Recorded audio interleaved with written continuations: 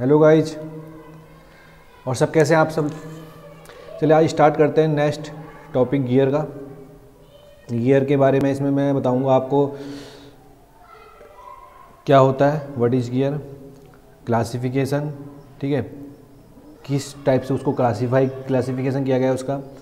और इस टॉपिक में गियर जो नॉर्मली हमारे गियर बहुत सारे यूज़ होते हैं, जैसे स्पर गियर हो गया हेलिकल गियर के बारे में बताऊँगा। स्पर गियर कैसा होता है हेलिकल मतलब बेसिक अब क्योंकि हमारे टॉप अगर हम गवर्नमेंट एग्ज़ाम की तैयारी कर रहे हैं तो बेसिक सारे चीज़ों का सबका पता होना चाहिए स्पर गियर का।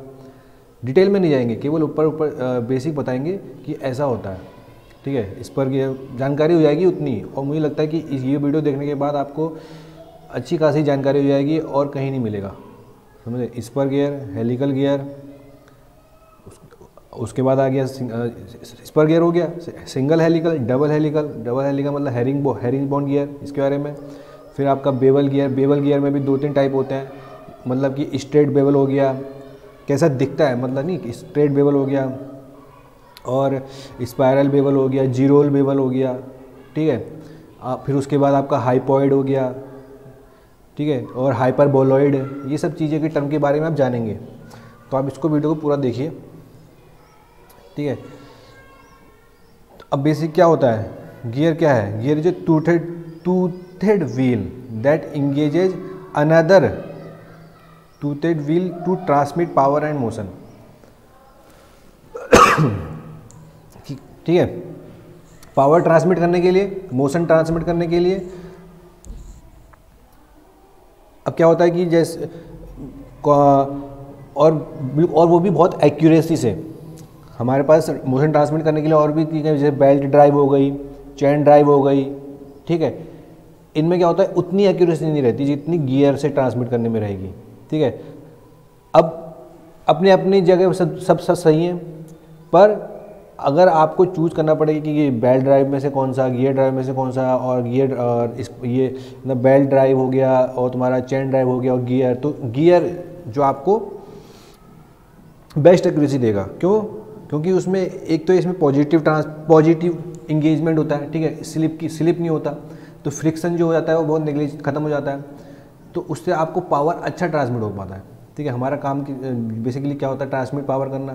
तो तो इसमें क्या होता है कि एक ब्लैंक होता है, अब मान लो सिलेंडर ले लो। सिलेंडर ले लिया आपने ब्लैंक सिलेंडर ठीक है? ब्लैंक सिलेंडर मतलब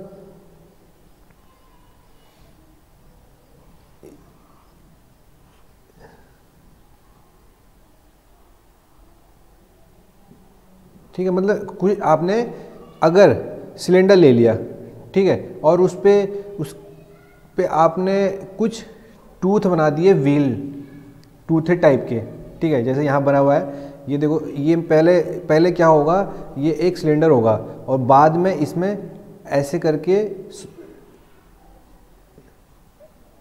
सॉकेट इंगेज करने के लिए, क्योंकि इन दोनों के, इन दोनों के बीच में जब ये जो गियर है, इसके साथ कांटेक्ट में आएगा, इस टूथ के, इस अनदर जो दूसरा गियर है, उसके टूथ के, इसके दोनों के बीच में इंगेजमेंट होगा।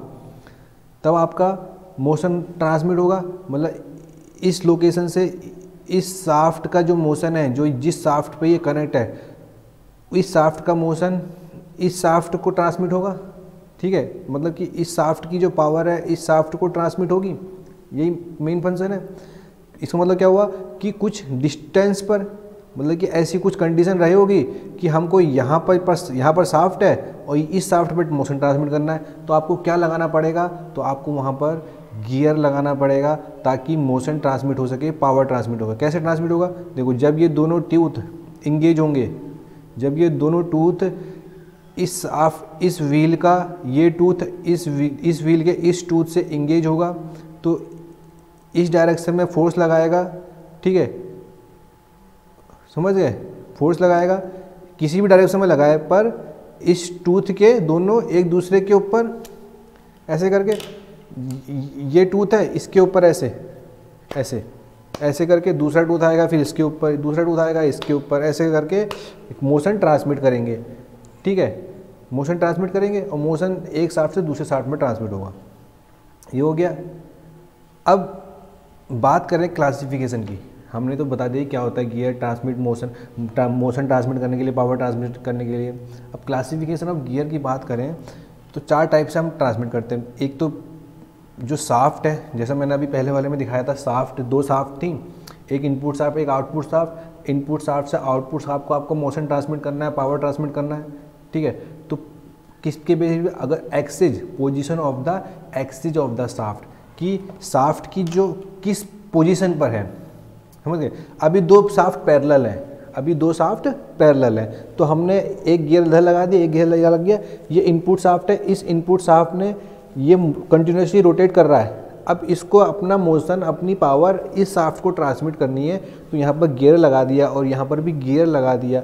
तो ये जब रोटेट करेगा और इस, जब टूथ से टूथ इंगेज होंगे और वो फोर्स अप्लाई करेगा दूसरे गियर पर तो वो भी रोटेट करने लग जाएगा। ठीक है? तो मोशन ट्रांसमिट हो गया पावर ट्रांसमिट हो गया और पॉजिटिव इंगेजमेंट होगा। ठीक है? कोई स्लिप की कंडीशन नहीं होगी इस केस में, कोई स्लिप नहीं होगा। तो ये बहुत अच्छी एक्यूरेसी मतलब आप समझ लो ninety seven ninety eight percent accuracy बहुत ठीक है, और चीज़ों में नहीं होती इतनी एक्यूरेसी एक्यूरेसी एक तो पावर है नहीं। तो और विलोसिटी क्लासिफिकेशन ऑफ़ गियर मतलब गियर का क्लासिफिकेशन क्या है कि position of the axes of the shaft कि साफ्ट की एक्सिज कैसी है, कि पैरेलल है परपेंडिकुलर है, दो साफ्ट अगर दो साफ्ट में मोशन ट्रांसमिट करना है, एक साफ्ट से दूसरे साफ्ट में तो उन दोनों की की जो एक्सिज है वो कैसी है? दोनों दोनों पैरेलल हैं, या दोनों साफ्ट एक दूसरे की परपेंडिकुलर हैं इंटरसेक्ट कर रही हैं, या इंटरसेक्ट नहीं कर रही हैं, इस बेसिस पे। ठीक है? और दूसरा पेरीफेरल वेलोसिटी ऑफ़ गियर कि हमको जो गियर की वेलोसिटी है, जो इनपुट साफ्ट है, उसकी जो वेलोसिटी है वो ज़्यादा है या कम है? किस किस हिसाब से? उसके हिसाब से भी क्लासिफिकेशन होता है of type of gearing type of gearing मतलब कि गियर एक्सटर्नल है। एक्सटर्नल गियर अभी ये सब चीज़ें के क्लासिफिकेशन के बारे में सब बताऊँगा कि गियर क्या कहते हैं? दोनों एक्सटर्नल गियर हैं, ठीक है? या इंटरनल गियर हैं। या ठीक है, और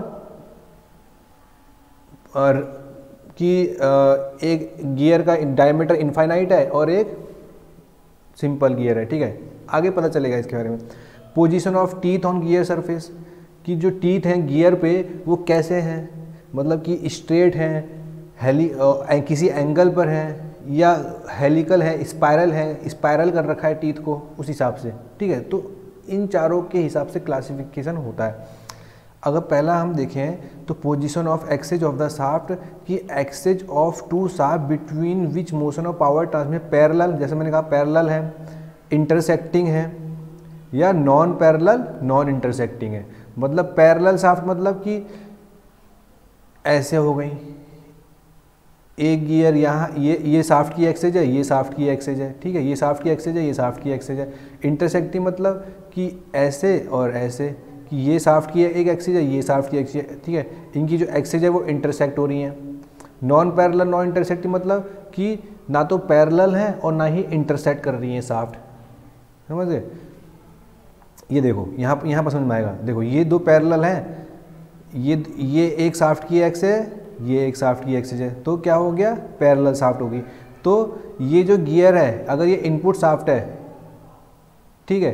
और ये आउटपुट है अब पिनियन ये देखो पिनियन जो छोटा गियर होता है उसको पिनियन कहते हैं, जो बड़ा गियर जो बड़ा होता है उसको गियर कहते हैं, ठीक है? तो जो ये पिनियन और पिनियन जो हमेशा पिनियन अगर ये रोटेट कर रहा है इस डायरेक्शन में, ठीक है? तो ये दोनों पैरेलल साफ्ट हैं तो ये इसको इस डायरेक्शन में रोटेट कराएगा और यहाँ से यहाँ मोशन ट्रांसमिट हो जाएगा पावर ट्रांसमिट हो जाएगी और यहाँ पर देखो ये इंटरसेक्टिंग साफ्ट है, ठीक है? एक साफ्ट ये है, एक साफ्ट ये है तो दोनों की जो साफ्ट की एक्सेज है वो इंटरसेक्ट कर रही हैं। और एक ही प्लेन में है को प्लेनर है को प्लेनर ठीक है? एक ही प्लेन में है दोनों साफ्ट की एक्सेज। और एक ये देखो, इसमें क्या है? ना तो पैरेलल है साफ्ट की एक्सेज, एक साफ्ट ये है और एक साफ्ट ये है। तो ना तो पैरेलल है और ना ही इंटरसेक्ट कर रही हैं, ठीक है? देखो ये। समझ गए? ऐसे। अब classification of peripheral velocity of gear मतलब कि अगर लो वेलोसिटी हम कब कहेंगे? जब जो वेलोसिटी ऑफ़ गियर है, वो less than three metre per second है। और मीडियम वेलोसिटी गियर तब कहेंगे जब थ्री से पंद्रह मीटर पर सेकेंड उसकी जो पेरीफेरल वेलोसिटी है। और हाई वेलोसिटी कब कहेंगे? जब गियर की वेलोसिटी पंद्रह मीटर पर सेकेंड से ज़्यादा है। ठीक है? एक ये हो गया। और external gearing internal gearing rack and pinion देखो। एक्सटर्नल गियरिंग ये देखो एक्सटर्नल गियर है। इसे कहते हैं एक्सटर्नल गियर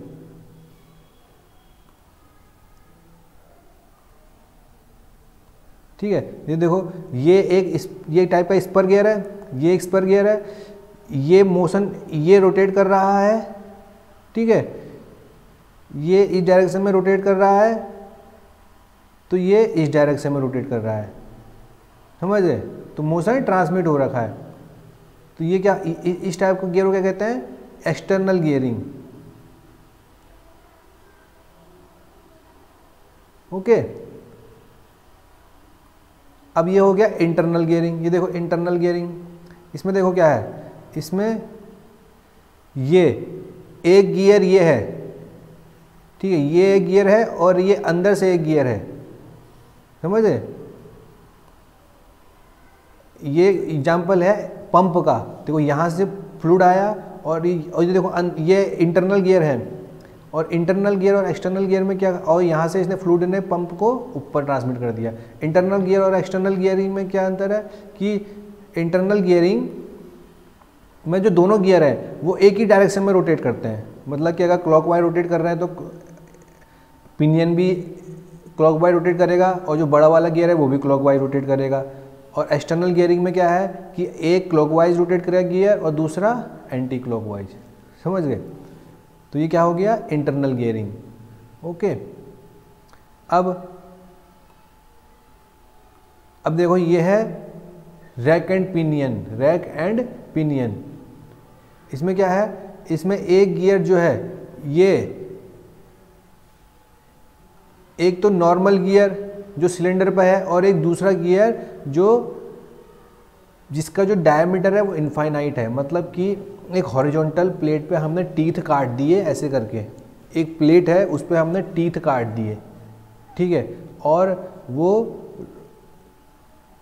ये कब यूज़ होता है? जब आपको, ये देखो, जब आपको रोटरी मोशन से ट्रांसलेटरी मोशन कन्वर्ट करना है। अब देखो, इसमें और गियरों में क्या होता है कि रोटरी मोशन से रोटरी मोशन ही हो रहा है। मतलब कि एक गियर है, वो रोटेट कर रहा है और दूसरे गियर को आउटपुट साफ्ट को, उसको भी रोटेट करा रहा है। तो एक गियर से दूसरा गियर रोटरी मोशन से रोटरी मोशन ही ट्रांसमिट कर रहा है। पर इस वाले रैक एंड पिनियन में एक रैक एंड पिनियन ही एक ऐसा गियर है, जिसमें रोटरी मोशन को हम ट्रांसलेटरी मतलब ठीक है हॉरिजॉन्टली मोशन में कन्वर्ट कर सकते हैं। रोटरी मोशन को ट्रांसलेटरी मोशन में कन्वर्ट कर सकते हैं रैक एंड पिनियन में, ठीक है। अब classification of gear on position of teeth मतलब कि जो टीथ हैं, वो स्ट्रेट हैं या इंक्लाइंड हैं या कर्व्ड हैं। जो गियर में टीथ हैं वो तो स्ट्रेट होंगे। स्ट्रेट के हिसाब से जो एक्सेज है जो गियर की एक्सेज है उसके सेम अलोंग द एक्सेज अगर हम अलोंग द एक्सेज टीथ काटते हैं टीथ का डायरेक्शन अलोंग द एक्सिस रहता है तो वो स्ट्रेट हो गए। इंक्लाइन कैसे? अगर जो इंक, जो टीथ हमने बनाए हैं गियर पे उन वो किसी, वो एंगल पर हैं, किसकी? साफ्ट जो एक्सेज है, उसके एंगल पर है। और कर्व्ड मतलब कि हमने उसमें कुछ कर्व दे रखा है गियर पे टीथ में, ठीक है? अब देखो, इस पर गियर की बात करते हैं। इस पर गियर में क्या है?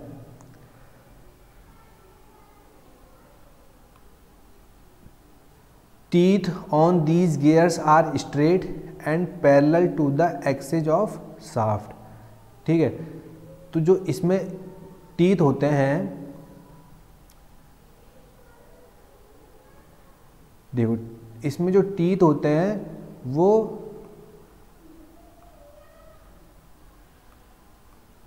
ये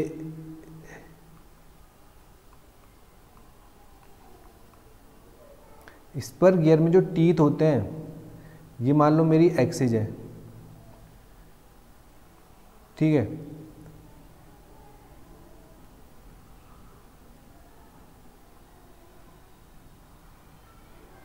ये सिलेंडर है, ये एक्सेज है। तो teeth on these gears are straight and parallel to the axes of top मतलब कि टीथ ऐसे पैरेलल ये एक्सेज है स्ट्रेट होते हैं और parallel to the axes of shaft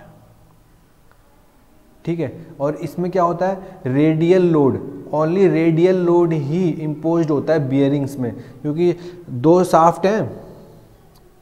मतलब एक साफ्ट है, उसने इस पर गियर को देखो यहाँ पर क्या है ये वाला एग्जांपल देखो। हाँ ये साफ्ट है ये स्पर गियर का एग्जांपल है ये साफ्ट है ये, ये साफ्ट है ठीक है ये साफ्ट है। तो ये के है और जब इस पर जब लोड लगता है तो इस डायरेक्शन में ये इस डायरेक्शन में रोटेट कर रहा है। इस डायरेक्शन में रोटेट कर रहा है मतलब क्लॉकवाइज डायरेक्शन में रोटेट कर रहा है तो जब ये रोटेट ऐसे कर रहा है तो इस डायरेक्शन में फोर्स लगाएगा। ठीक है? मतलब कि, और ये साफ्ट है तो इसका मतलब इस डायरेक्शन में फोर्स लग रहा है, इस साफ्ट की एक्स है तो इस डायरेक्शन में फोर्स लग रहा है मतलब कि radial radial only radial load apply समझ गए? तो केवल इसमें क्या? इस पर गियर में हाँ इस पर गियर में केवल रेडियल लोड अप्लाई हो रहा है। देखो, ये साफ्ट है, केवल रेडियल लोड अप्लाई हो रहा है। इसमें reduction ratio up to seven is to one हम अचीव कर सकते हैं। Reduction ratio up to seven is to one achieve कर सकते हैं। मतलब कि कोई अगर स्पीड सात पे चल रहा है मतलब किसी, अगर किसी की वेलोसिटी सेवन टाइम्स है सात ओमेगा मान लो, ठीक है? तो हम उसको उसको, उसका रिडक्शन कर सकते हैं अप टू ओमेगा मतलब कि स्पीड का हम रिडक्शन कर सकते हैं up to seven times seven times increase कर सकते हैं सेवन टाइम डिक्रीज कर सकते हैं। ठीक है? कोई इनपुट साफ्ट है, वो हाई वेलोसिटी पे है तो उसका हम रिडक्शन अप टू वो सेवन मतलब सात की वेलोसिटी पे वो सेवन मीटर पर सेकंड के हिसाब से वो चल रहा है रोटेट कर रहा है। और आउटपुट साठ में हमको चाहिए केवल वन तो हम उसको रिडक्शन कर सकते हैं उसका। समझ गए?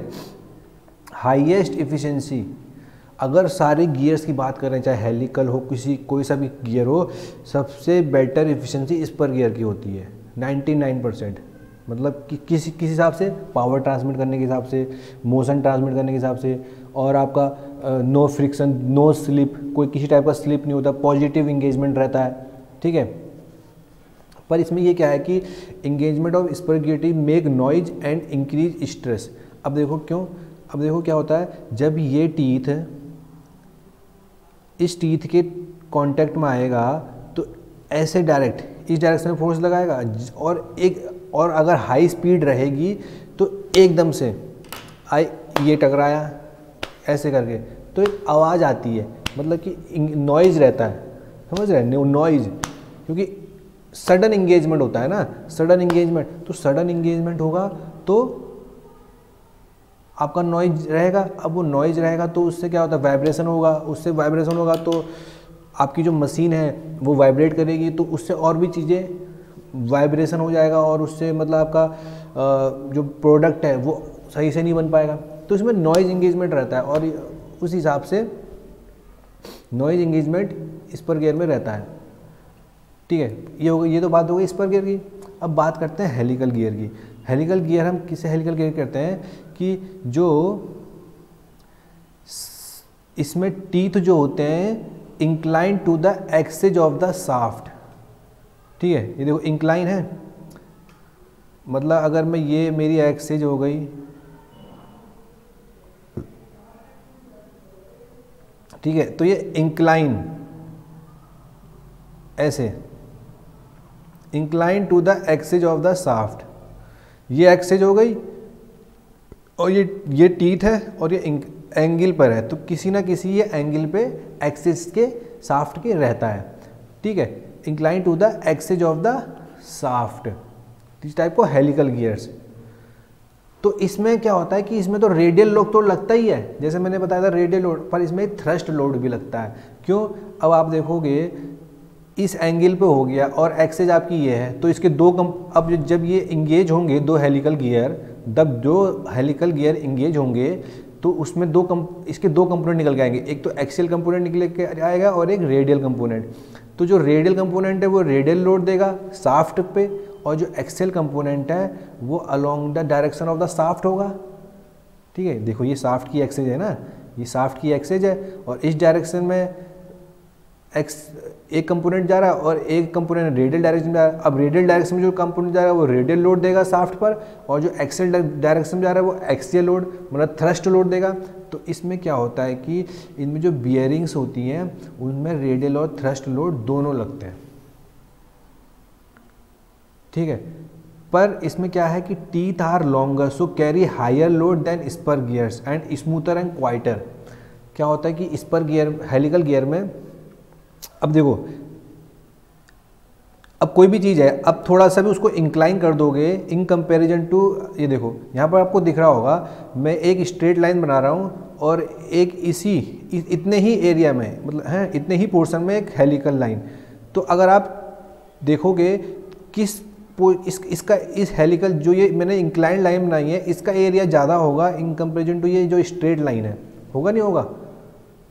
तो एरिया हमको ज़्यादा मिल जाता है, ठीक है? तो उससे क्या होता है कि ये हायर लोड जो इस पर गियर के कंपैरिजन में हायर लोड कैपेसिटी रख सकता है और स्मूथर और क्वाइटर होता है, क्योंकि हेलिकल गियर में क्या होता है कि इंगेजमेंट होता है हेलिकल अब इस पर गियर में क्या था कि सडन इंगेजमेंट इस पर गियर में क्या था? सडन इंगेजमेंट पर हेलिकल गियर में क्या होता है कि लाइन कॉन्टेक्ट इंगेजमेंट स्टार्ट होगा स्टार्ट होगा सडन नहीं होता। आराम धीरे धीरे से इंगेजमेंट होता है। मतलब कि हेलिकल डायरेक्शन में। आराम आराम से इंगेज देखो अब देखो इसमें ये ये हेलिकल गियर है। ये इसको कहते हैं लेफ़्ट हैंड हेलिकल ठीक है? अगर आप अपना लेफ़्ट हैंड किसी हेलिकल हेलिकल गियर पे रखोगे, अगर वो आपके ईस्ट ऐसे करके, ऐसे कर ऐसे करके रखोगे तो ये लेफ़्ट हैंड तो अगर वो ऐसा सेप बना रहा है तो वो लेफ़्ट हैंड हेलिकल और ऐसे करके रखोगे, अगर वो ऐसा सेप बना रहा है राइट हैंड अगर अपना ऐसा रखोगे और ऐसा सेप बना रहा है तो राइट हैंड हेलिकल ठीक है? अब दो हेलिकल गियर हैं, ए तो जब भी मोशन ट्रांसमिट होगा, पहला है लेफ़्ट हैंड हेलिकल दूसरा राइट हैंड हेलिकल दोनों राइट हैंड हेलिकल और left hand helical motion transmit करेंगे, जब दो पैरेलल साफ्ट होंगी, ठीक है? तो क्या होगा? तो स्मूथ एंगेजमेंट होता है क्वाइटर ऑपरेशन होता है, ठीक है? तो रिडक्शन रेशियो ज़ाहिर सी बात है, इस स्पर गियर से थोड़ा ज़्यादा होगा। अगर कोई इनपुट साफ्ट और उसमें हेलिकल गियर लगा है, वो 10 की स्पीड से रोटेट कर रहा है तो अगर हमको वन का स्पीड रोटेशन चाहिए 10 की स्पीड वाले का, और तो उसमें हम हेलिकल गियर लगाएँगे। ठीक है हायर लोड ले सकता है स्मूथर ऑपरेशन है क्वाइटर ऑपरेशन है। ठीक है? अब बात आती है हेरिंग बोन और डबल हेलिकल गियर की। डबल हेलिकल गियर कैसे? कि या अब कोई देखो यहाँ पर देखो ये साफ्ट है, यहाँ पर डबल हेलिकल लगा रखे हैं। ये साफ्ट है तो यहाँ पर देखो ये साफ्ट है और यहाँ पर हमने डबल हेलिकल ये। ठीक है, एक हेली ये डबल हेली का मतलब एक हेली ये एंगल पे और ये दूसरा एंगल पे। तो दो हेलिकल क्या फ़ायदा होगा? इससे जो हमारा थ्रस्ट लोड था ना एक्सेल जो थ्रस्ट लोड था, ठीक है? एक्सेल जो थ्रस्ट लोड था, वो ख़त्म हो जाएगा।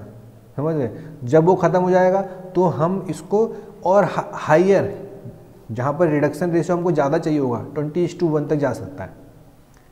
ठीक है? क्योंकि हमें हेलिकल गेयर में सबसे ज़्यादा मजबूरी कहती कि उसमें जो थ्रश लोड था वो ज़्यादा आ रहा था। अब थ्रश लोड जा रहा था तो बियरिंग आपको देखना पड़ेगा कि अब मतलब साफ्ट की एक्सेस के डायरेक्शन में ज़्यादा लोड लगेगा तो ज़्यादा मुसीबत हो जाएगी। ठीक है? तो इसमें क्या होता है कि हमने डबल हेलिकल लगा लिया। अब डबल हेलिकल को हम हेरिंग बोन भी गियर कहते हैं। ठीक है हेरिंग बोन्स क्या है? हेरिंग बोन एक मछली है, उसका जो, उसकी, अगर आप उसके हड्डी स्केल्टन देखोगे, उसका अगर शेप देखोगे तो वो इसी टाइप का होता है। स्केल्टन तो हेरिंग बोन एक मछली का नाम है तो उसी के नाम पे हेरिंग बोन रख दिया। ठीक है कहीं कहीं किताब में आपको दिखाई देगा कि डबल हेलिक और हेरिंग बोन गियर को अलग अलग दिखाया गया है। दोनों का काम एक ही आपको पता है फ़ंक्शन एक ही होना चाहिए। फ़ंक्शन क्या दोनों का एक ही क्या है कि जो एक्सेल थ्रस्ट लोड आ रहा है उसको हटाना नेगली करना। पर बनाने पर मैन्युफैक्चरिंग मैन्युफैक्चरिंग का अंतर है। मैन्युफैक्चरिंग में क्या कि, कि कहीं कहीं आपको दिखाई देगा कि जो ये इन एक हेलिक्स ये है एक हेलिक्स ये है और इन दोनों के बीच में गैप में थोड़ा सा गैप दिखाई देता है। वो मैन्युफैक्चरिंग के अनुसार है कि अगर आप ऐसा कोई टूल है जिसको भाई जो कंप्लीट एक बारी में ये हेलिकल नहीं बना पा रहा है तो वो क्या होगा था कि यहाँ से अपना क्लियरेंस लेते हुए बनाता है, दो अलग अलग करके बनाता है, ठीक है? वो मैन्युफैक्चरिंग के अनुसार है, ठीक है? काम दोनों का एक ही है। दोनों को वही कहते हैं डबल हेलिकल या हेरिंग बोन कह रहे हैं। ओके ये देखो, अब मैं यहाँ पर आपको दिखा रहा हूँ ये कैसे वर्क करता है।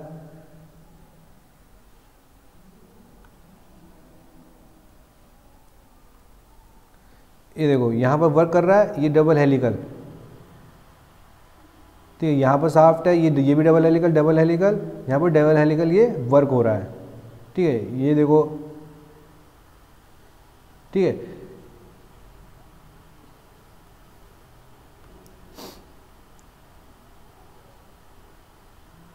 बहुत भारी भारी मशीनों में लगा होता है, जहाँ पर हमको हायर स्पीड डिडक्शन चाहिए होता है। काफ़ी भारी जो जहाँ पर हमको अच्छा यहाँ पर बड़ी बड़ी मशीनें होती हैं, वहाँ हम डबल हेलिकल यूज़ करते हैं।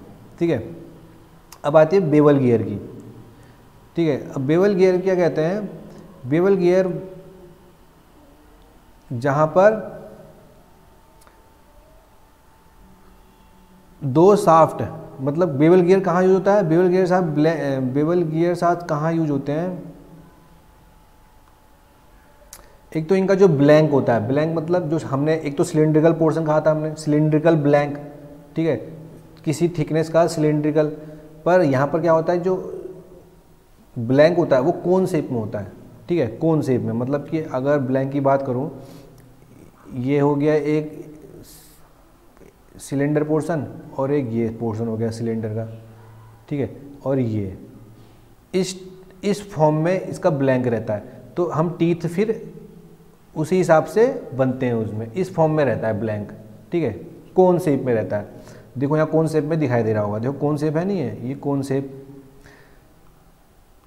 ठीक है, बस तो यहाँ पर, वहाँ से हम यहाँ पर क्यों आ गए? हमको उसी से काम नहीं चल रहा था क्या? पर ये ये चीज़, ये ये ये यूज़ होता है जहाँ पर साफ्ट इंटरसेक्ट कर रही हो। इंटरसेक्टिंग साफ्ट साफ्ट की एक्सेज इंटरसेक्ट हो रही हैं। ठीक है, और और साफ्ट जो है, वो सेम प्लेन पर है। ठीक है मतलब कि ये देखो, इसकी जो साफ्ट है, वो यहाँ से निकलेगी और इसकी जो साफ्ट है यहाँ से निकलेगी दोनों इंटरसेक्ट करेंगी। सेम प्लेन पर होंगी, ठीक है? तो इंटरसेक्ट करती हैं।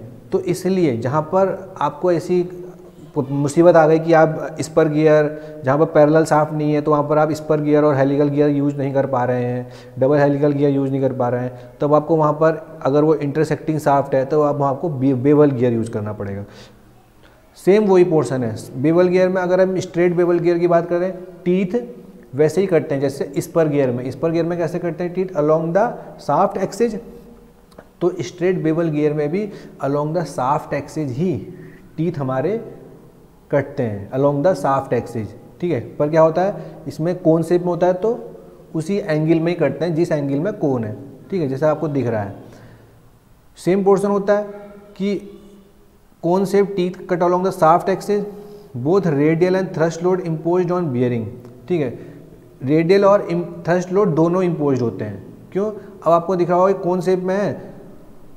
अब इस पर गियर में क्या था? इस पर गियर में केवल एक ही रेडियल लोड आ रहा था, पर वो क्योंकि परपेंडिकुलर ही आ रहा था ना। ठीक है? अब यहाँ पर थोड़ा एंगल पर है तो जब ये फोर्स लगाएगा तो उसका कोई ना कोई पोर्शन एक्सेल भी लगेगा और रेडियल भी होगा। ठीक है? कोई भी अगर थोड़ा सा भी एंगल में अगर आप फोर्स लगाओगे तो दो कंपोनेंट ज़रूर निकल के आते हैं। ठीक है? इसमें भी अगर आप फोर्स लग रहा है तो दो कंपोनेंट निकल के आएँगे तो थ्रस्ट लोड और रेडियल लोड दोनों बियरिंग पे लगते हैं। Transmit power between two intersecting shaft up to eight is to one reduction ratio है। ठीक है? सेम स्पर गियर की तरह स्पर गियर में क्या था? पैरेलल साफ्ट थी, पर स्ट्रेट बेवल गियर में इंटरसेक्टिंग साफ्ट है। एक तो ये हो गया बेवल गियर का पहला, कि इसमें जो टीथ कटे हैं, वो स्ट्रेट है। अब आगे देखो। जीरोल बेवल गियर जिसे हम कहते हैं जीरोल बेवल इसमें जो टीथ होते हैं, वैसी सेम लिखा है teeth are curved along the shaft axes curved थोड़ा सा कर्व होता है अलोंग द साफ्ट एक्सेज थोड़ा सा कर्व रहता है।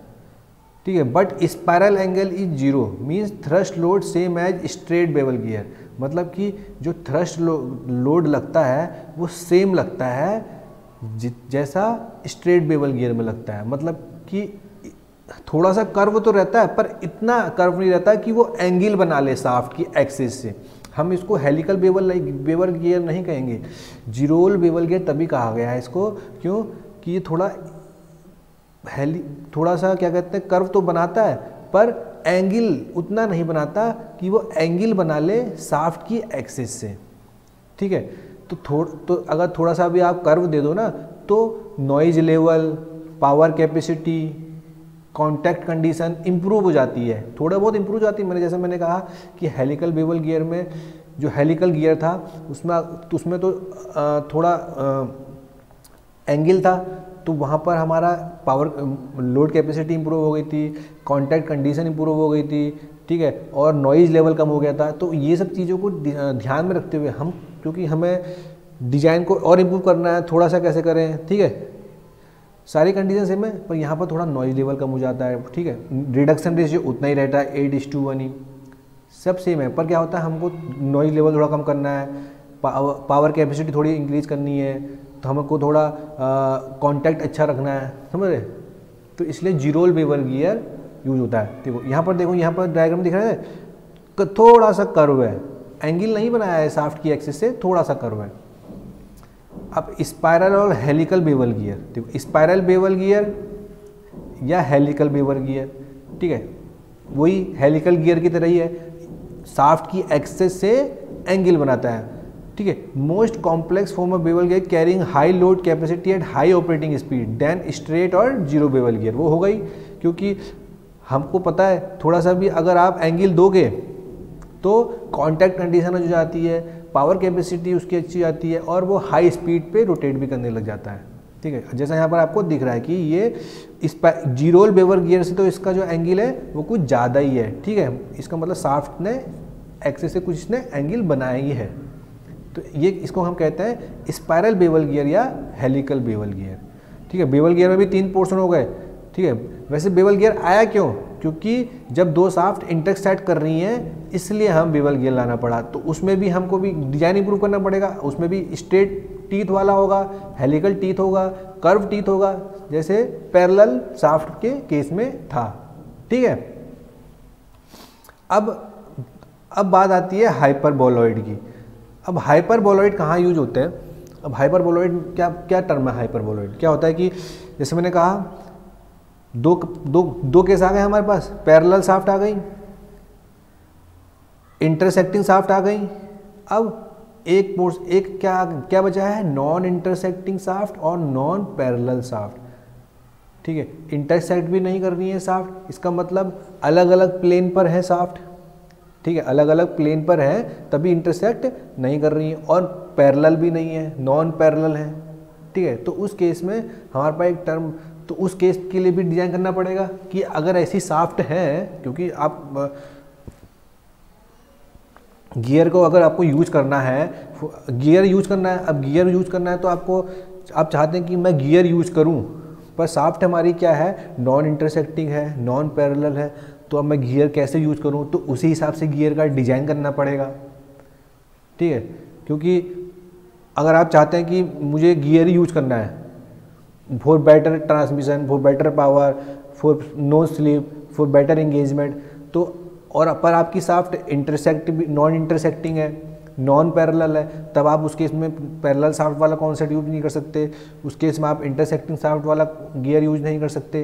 तो आपको उसके लिए अलग गियर डिज़ाइन करना पड़ेगा।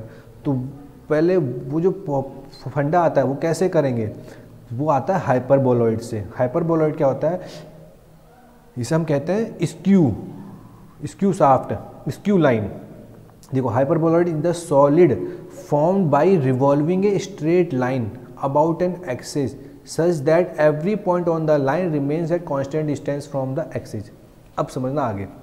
देखो, ये वीडियो देखना, इसमें आप सब सारी चीज़ें बताऊँगा।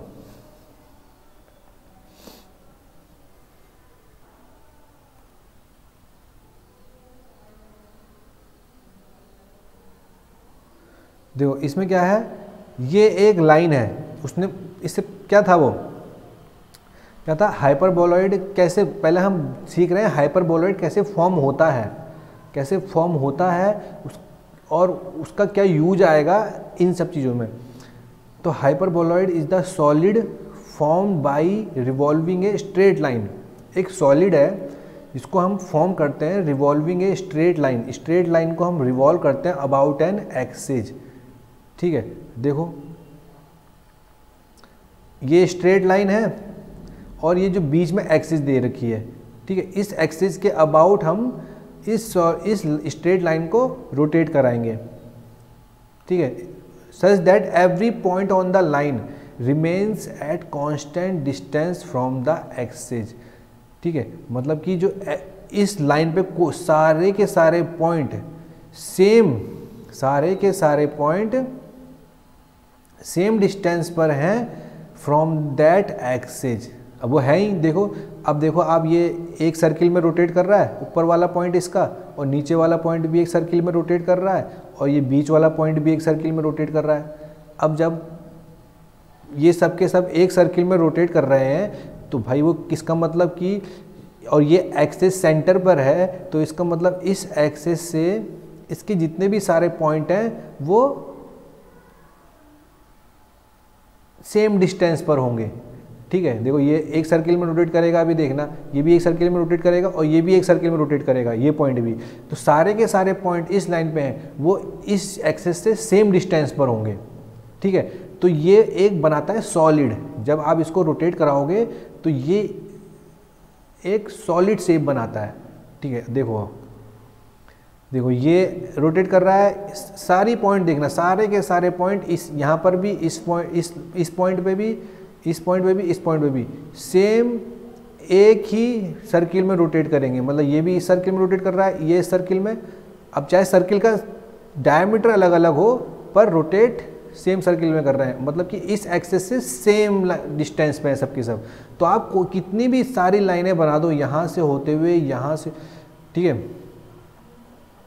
ये देखो। दिख रहा है? तो इसका मतलब क्या हुआ कि ये जो लाइन है स्ट्रेट लाइन ये जो स्ट्रेट लाइन है, इस स्ट्रेट लाइन कितनी भी स्ट्रेट लाइन ड्रॉ करो। देखो, ये स्ट्रेट लाइन ड्रॉ हो गई, ये एक स्ट्रेट लाइन ड्रॉ कर दी, ये स्ट्रेट लाइन ड्रॉ कर दी तो ये स्ट्रेट लाइन ड्रॉ कर दी। सारी की सारी स्ट्रेट लाइन ड्रॉ कर दी यहाँ से लेकर यहाँ तक। तो ये जितनी भी स्ट्रेट लाइन है, इसकी एक्सेस से जो ये एक्सेज है सेंटर से गुजर रही है, ठीक है सेम डिस्टेंस पर होंगे सबके सब। सेम डिस्टेंस पर होंगे। तो इन स्ट्रेट लाइन के रोटेट करने से जो एक सॉलिड बनता है, जो एक सॉलिड बनता है, उसको हम कहते हैं हाइपरबोलॉइड ठीक है? और, ठीक है, उसको हम कहते हैं हाइपरबोलॉइड अब ये जो स्ट्रेट लाइन है, आप कैसी भी ड्रॉ करो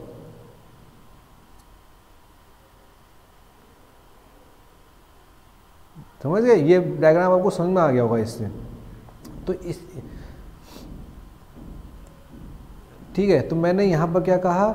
तो आप यहाँ से होते हुए कैसी भी स्ट्रेट लाइन ड्रॉ करो। तो अगर आप इन स्ट्रेट लाइन को टीथ मान लो, ठीक है, मैंने ड्रॉ करी, ये मैंने ड्रॉ करी, इन स्ट्रेट लाइंस को एक टीथ की तरह मानो कि मैंने टीथ का सेप दे दिया इस स्ट्रेट लाइन को। ठीक है? तो दो गियर मैंने ऐसे ही बना दिए। दो हाइपरबोलॉइड बनाए मैंने, दो हाइपरबोलॉइड बनाए, अभी आगे देखो, ये है। इस टाइप का बनेगा।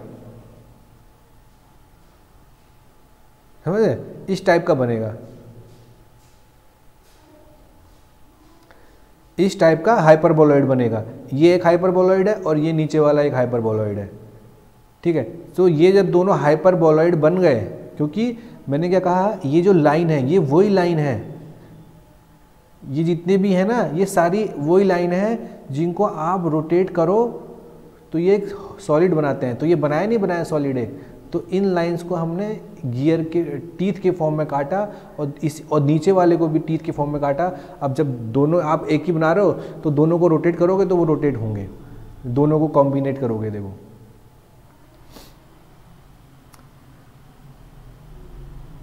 देख लो, नीचे ऊपर वाले को, नीचे ऊपर वाले को रोटेट करो तो नीचे वाला रोटेट होगा।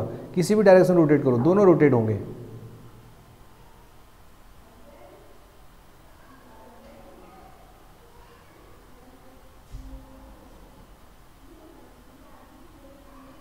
ठीक है? तो ये हो गया हाइपरबोलॉइड तो इसका क्या यूज़ है? तो ये वो वो चीज़ें हैं जब आपकी साफ्ट इसमें देखो इसमें देखो साफ्ट इंटरसेक्ट है। ये एक साफ्ट है, ये एक साफ्ट है, और नीचे वाला पोर्शन का एक ये साफ्ट है। इंटरसेक्ट नहीं कर रही हैं और पैरेलल भी नहीं है। तो ये फिर हमारा कहाँ से आया हाइपरबोलॉइड से? ये हाइपरबोलॉइड कॉन्सेप्ट से, ठीक है? तो इसमें हमने फिर, इस कॉन्सेप्ट से हमने फिर गियर डिज़ाइन करे, ठीक है? इस कॉन्सेप्ट से, इसी कॉन्सेप्ट से इसी कॉन्सेप्ट को लेके हमने गियर डिज़ाइन करे, जिसमें साफ्ट हमारी नॉन इंटरसेक्ट होती है और नॉन पैरेलल होती हैं। ठीक है? तो इसी, इन्हीं कॉन्सेप्ट से कई सारे गियर के डिज़ाइन हमको आए। तो सबसे पहला डिज़ाइन क्या है हमारा? सबसे पहला आया स्क्यूड हेलिकल और क्रॉस्ड हेलिकल गियर ठीक है? स्क्यूड हेलिकल कैसे मतलब? कि जो इसमें मैंने कहा ना, देखो ये वाला जो पोर्शन आपको दिख रहा है ना ये वाला पोर्शन यहाँ पर दिख रहा है साफ्ट इंटरसेक्ट नहीं है। ये साफ्ट की एक्सेज ऐसे है, इस साफ्ट की एक्सेज ऐसे है, और पैरेलल भी नहीं है। तो इनके जो टीथ कटे हुए हैं हेलिकल फॉर्म में कटे हुए हैं। हेलिकल फॉर्म में कैसे? पर स्क्यूड हेलिकल स्क्यू मतलब स्क्यू लाइन जो वो लाइन, जो स्क्यू लाइन हम वो वो लाइन कहते हैं जो नॉन इंटरसेक्ट हो और नॉन पैरेलल हो। इनकी जो टीथ हैं, वो नॉन इनकी जो टीथ कटे हुए हैं, वो स्क्यू लाइन में कटे हुए हैं। स्क्यू लाइन मतलब जब दो गियर इंगेज करेंगे तो उनकी जो लाइन होगी, वो ना तो इंटरसेक्ट करेगी और ना ही पैरेलल होगी। ठीक है तो इस जो have high helix angle and transmit power between two non intersecting and non parallel shaft cross helical देखो, क्योंकि ये एक क्रॉस करते हैं क्रॉस हेलिकल गियर कहते हैं, ठीक है? नॉन इंटरसेक्टिंग साफ्ट होती है और नॉन पैरल साफ्ट होती है। रिडक्शन रेशियो इसमें बहुत अच्छा होता है हंड्रेड टू वन रहता है। ठीक है? तो इसको हिस्क्यूड हेलिकल और इस क्रॉस्ड हेलिकल गियर अब अगर देखो, ये ये देखो नॉन इंटरसेक्टिंग साफ्ट का। नॉन इंटरसेक्टिंग साफ्ट ठीक है? एक साफ्ट ये है,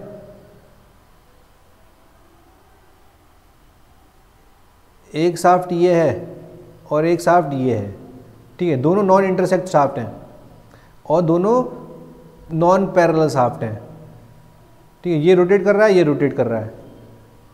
तो ये हमने इस, उसी हिसाब से हमने डिज़ाइन बनाया है इसका। ठीक है? अब हाइपोइड गियर अब हाइपोइड गियर क्या होता है? हाइपोइड गियर में,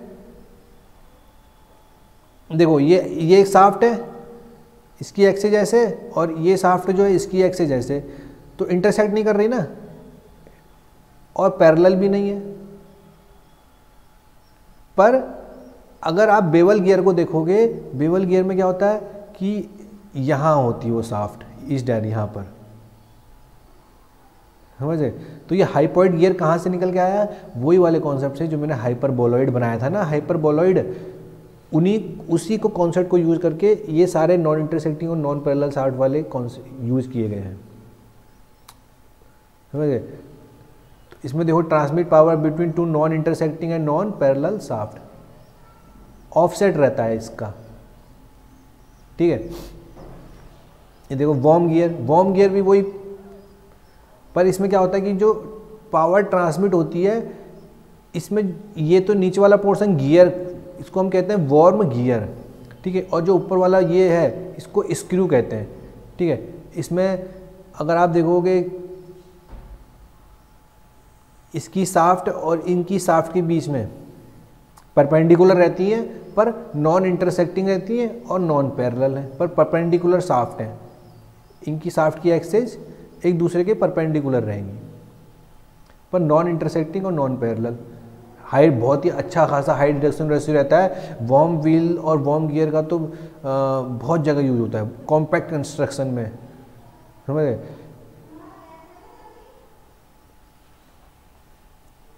ये देखो ये स्पाइरल बेवल गियर मैंने क्या कहा? ये ये पोर्शन एक गियर का पोर्शन है, ये पूरा पोर्शन ये रिंग ये पोर्शन एक गियर बना, ये गियर है एक, ठीक है? और ये spiral bevel spiral bevel gear वही गियर बेवल गियर जिसे हम कहते हैं बेवल गियर ठीक है? अब बेवल गियर में क्या होता है? बेवल गियर में तो जो साफ्ट है साफ्ट की एक्सेज इंटरसेट करती है किससे? इससे, ठीक है? इंटरसेट कर रही है, पर हाइपोइड गियर हाइपोइड गियर में क्या है? इंटरसेट नहीं करती साफ्ट की एक्सेज इंटरसेक्ट नहीं करती। और नॉन पैरेलल भी रहती है। इसमें तो इंटरसेक्ट करती है। जैसे मैंने दिखाया एक इतना ऑफसेट है। पर अगर ज़्यादा ऑफसेट हो गया तो हम उसको उस उस, उस गियर को कहते हैं स्पीरोइड गियर इसमें देखो कौन ज़्यादा है। सारा सेम कॉन्सेप्ट है उसी चीज़ से। स्पीरोइड इसमें जा इस, ये कहते हैं इसको स्पीरोइड गियर है। Hypoid gear non intersecting non parallel है। स्पीरोइड गियर भी नॉन इंटरसेक्टिंग नॉन पैरेलल है। पर डिस्टेंस का फ़र्क है। यहाँ, ये इस एक्सेस से ऑफसेट थोड़ा कम है, इसका ज़्यादा है। और अगर ये बिल्कुल ही परपेंडिकुलर हो गया तो वॉर्म गियर कहते हैं। जैसा मैंने पिछले वाले वीडियो में दिखाया था, इस टाइप का वॉर्म गियर कि साफ्ट बिल्कुल परपेंडिकुलर है। समझ? गए रैक एंड पिनियन के बारे में मैंने बताया था। रैक एंड पिनियन क्या होता है कि जो रैक होता है वो एक हॉरिजॉन्टल टेबल मान लो और उस पर हमने टीथ ऐसे करके काट रखे हैं। और पिनियन एक गियर होता है गियर का फॉर्म होता है, या इस पर गियर ले लो, या हेलिकल गियर ले लो, कोई सा भी टाइप इस पर गियर हेलिकल गियर ही होता है, दो दो ही गियर होते हैं। इस पर हो, इस पर टाइप का, इस पर मतलब कि टीथ आपको स्ट्रेट कटे हुए मिलेंगे साफ्ट की एक्सेस के। हेलिकल मतलब कि टीथ आपको कुछ एंगल पे मिलेंगे साफ्ट की एक्सेस से, ठीक है? तो ये एक टेबल हो गई, इस पर हमने टीथ काटे हुए और ये। तो इसका मेन यूज़ क्या होता है कि जो रोटरी मोशन होता है, उसको ट्रांसलेटरी मोशन में कन्वर्ट करना, या जो तो ट्रांसलेटरी मोशन होता है, उसको रोटरी मोशन में कन्वर्ट करना। तो मैंने कहा ना rack is a segment of segment of a gear of infinite diameter जो नीचे वाला पोर्शन है, इसको रैक कहते हैं। रैक को आप तो सुन नाम ही सुना होगा रैक टेबल की रैक ठीक है, उसी, वो रैक ले लो और उसमें आपको टीथ अपने ऐसे से काट लिए। तो वे बेस्ट कहाँ यूज़ किया जाता है? सहाँ जहाँ पर हमको रोटरी मोशन को ट्रांसलेटरी मोशन में कन्वर्ट करना है, या ट्रांसलेटरी मोशन को रोटरी मोशन में कन्वर्ट करना है। समझ गए? ये देखो, ये मैंने दिखा दिया। ये देखो रोटरी मोशन को या ट्रांसलेटरी मोशन में कन्वर्ट कर लो, या या ऑक्सीलेटिंग मोशन भी कहते हैं। ठीक है ऑक्सीलेटिंग मोशन तो ये फंडा हो गया। क्लासिफिकेशन ऑफ़ गियर तो अगर आपको, ठीक है, ये मैंने बेसिक बताया है कि ऐसे होते हैं गियर क्लासिफिकेशन ठीक है कौन कौन से टाइप के होते हैं, वरना तो बहुत बड़ा है, ठीक है, कभी बताएँगे। तो मैं अभी गियर का मैंने ये पढ़ा है इसके बाद मैं गियर की टर्मिनोलॉजी और उसका डिज़ाइन बताऊँगा, क्योंकि मुझे मशीन डिज़ाइन कॉन्सेप्ट कराना है। मशीन डिज़ाइन हम तो केवल गेट के हिसाब से पढ़ लें तो ज़्यादातर केवल इस पर गियर के आएगा क्वेश्चन डिज़ाइन के ऊपर। ठीक है, मशीन डी में इस पर गियर का आएगा, ठीक है, और कुछ ज़्यादा क्वेश्चन आता नहीं है। हेलिकल की है मशीन इस पर गियर के पूरा डिज़ाइन करेंगे, ठीक है। Thank you